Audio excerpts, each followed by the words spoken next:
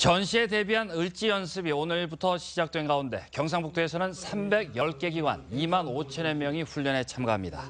도청 이전 후 처음 실시하는 이번 연습은 평시 행정에서 전시 행정 전환, 상황 조치 절차 숙달에 중점을 두고 실시됩니다.